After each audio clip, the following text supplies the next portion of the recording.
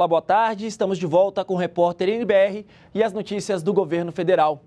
O Banco Central informou que está monitorando o mercado internacional depois da decisão dos britânicos de sair da União Europeia. Vamos para o Palácio Planalto conversar com a repórter Thaisa Dias, que tem mais informações para a gente sobre esse assunto. Boa tarde, Thaís.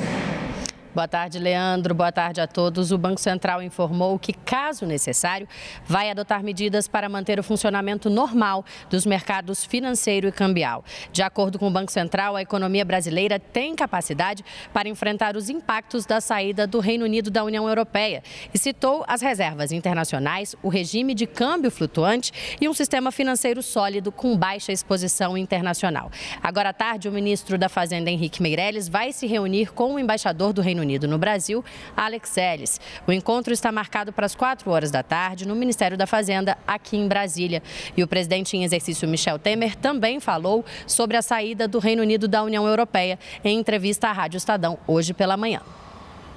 O Reino Unido, a Inglaterra decidiu, decidiu por uma, por uma consulta popular até, e, portanto, decisão política nós não vamos discutir. Nós precisamos verificar quais são as repercussões, digamos, econômicas que possam atingir o Brasil. O ministro Meirelles vai se encontrar, como você disse, representante do governo britânico. Vamos discutir um pouco essas questões e vamos esperar os acontecimentos, mas é, só depois que eles efetivamente se consolidem, porque nesse primeiro momento você sabe que houve uma queda das bolsas, né?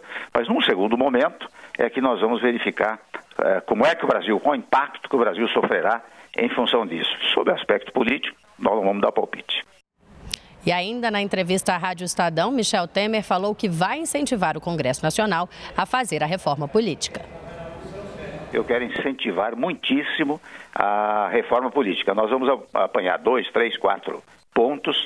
Uh, não podemos fazer uma, digamos assim, uma reforma política sistêmica com todos os pontos, porque isso seria difícil, mas eu conversarei com os líderes da Câmara, do Senado, para, uh, naturalmente, incentivá-los. Se for o caso, se o Legislativo me permitir, também participar dessa ação que gere uma reforma política no país.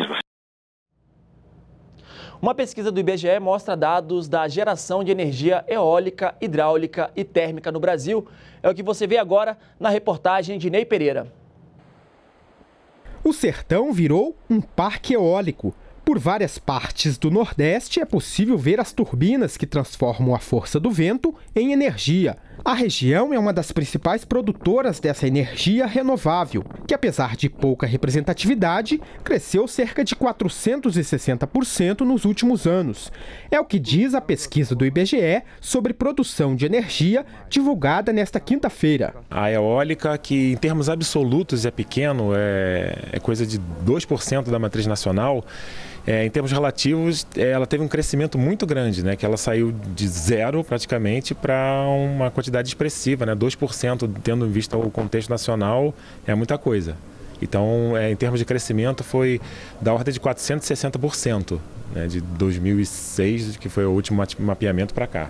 Só na última quarta-feira, por exemplo, foram produzidos no Nordeste 3.893 megawatts por meio de fontes eólicas, o que representa cerca de 40% de toda a geração na região. E essa energia, produzida de forma limpa, é distribuída para todo o país. O Brasil possui um sistema interligado de geração e transmissão de energia elétrica. Isso possibilita que a energia produzida em um campo eólico do Rio Grande do Norte, por exemplo, possa ser consumida no Rio Grande do Sul. E quem coordena a geração e a transmissão dessa energia até o consumidor é o Operador Nacional do Sistema Elétrico. Por meio daqueles monitores, é possível acompanhar as regiões com maior produção e consumo de energia tempo real. A pesquisa do IBGE mostra ainda que no Brasil predominam as usinas hidrelétricas. Em 2014, elas representavam 63% da matriz energética. Já as termoelétricas, consideradas não limpas por utilizarem combustível de origem fóssil, detinham 34% da geração em 2014. O país foi bem generoso com a nossa sociedade. O Brasil é abençoado em termos energéticos nós temos tudo. que você pensar em termos energéticos, o Brasil tem um potencial de solar grande, uma insolação grande, ventos de boa velocidade e frequência, grandes reservas de petróleo, grandes reservas de, de, de gás, reservas de, significativas de carvão mineral. Então, é, é, temos área agricultável para produzir é, lenha e, e, álcool, biodiesel. Então, temos tudo que, que é possível.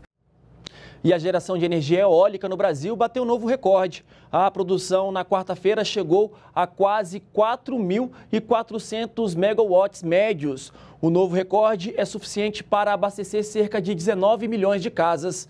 As informações são do Operador Nacional do Sistema Elétrico. E o Rio de Janeiro comemorou o Dia Olímpico nesta quinta-feira, com a apresentação da Vila Olímpica, que vai abrigar os atletas participantes dos Jogos. A vila tem tamanho de cidade, são 31 prédios, alguns com até 17 andares, mais de 3.600 apartamentos. O espaço já tem até uma prefeita empossada, é a Janete Arcaim do basquete, duas vezes medalhista olímpica. Participei de quatro Jogos Olímpicos como atleta, como jogadora.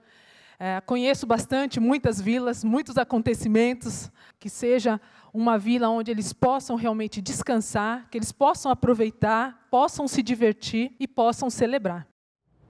E foi liberado um novo lote de ingressos para os jogos de basquete e handebol das Olimpíadas. As compras podem ser feitas nas bilheterias oficiais ou pela internet no site ingressos.rio2016.com.